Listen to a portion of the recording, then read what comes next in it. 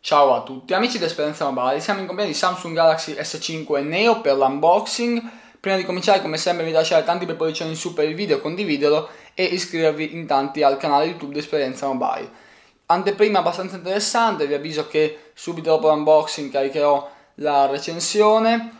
Il telefono non è ancora molto facile da trovare, eccolo qua in versione nera. Nella confezione troviamo manualistica, in questo caso in polacco, visto che il telefono non è Garanzia Italia, però non cambia assolutamente nulla. Qua abbiamo le cuffiette in ear classiche di Samsung di discreta qualità, gommini per i padiglioni e qua abbiamo l'alimentatore, vediamo un po' con l'uscita da quanto, uscita da 1 ampere e mezzo, quindi abbastanza buono, e cavetto USB, micro USB in colorazione bianca anche se il telefono è nero. Benissimo, quindi come ogni anno Samsung ci ripropone la versione Neo Plus, insomma del telefono top di gamma dell'anno precedente.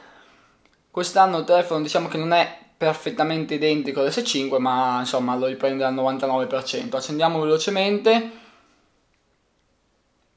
Ripeto, non dirò molto adesso, vi ho fatto vedere la confezione e il grosso lo dirò nel, nella recensione completa che linkerò anche qua in alto.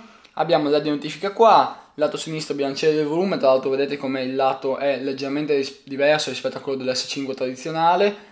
Abbiamo qua in alto il secondo microfono, ingresso per le cuffie, accensione sperimento blocco sblocco e ingresso micro USB. Interessante vedere come non sia più coperto lo sportellino nonostante il telefono rimanga impermeabile, quindi questo è già un bel vantaggio secondo me rispetto all'S5 Fotocamera da 5 megapixel anteriore contro i 2 dell'S5 e dietro abbiamo ancora il flash, fotocamera da 16 megapixel e il sensore per il battito cardiaco.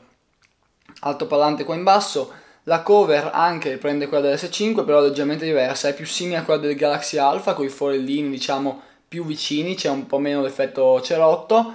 E l'unica cosa che andiamo a perdere sono, eh, è il tasto per le impronte digitali, comunque funzionava discretamente, non era eccelso, però diciamo secondo me era abbastanza inutile. E altri piccoli cambiamenti a parte la fotocamera sono il processore che non è più lo Snapdragon 801 ma è un Exynos eh, octa-core da 1.6 GHz proprietario di Samsung con GPU Mali 720 quindi questo è l'unico cambiamento. Adesso tutto il resto ve lo dirò insomma nella recensione completa. Quindi per questo video era tutto noi ci vediamo nei prossimi video mi raccomando andate a vedere la recensione, lasciate un like, un saluto da Lorenzo per l'esperienza mobile. Ciao!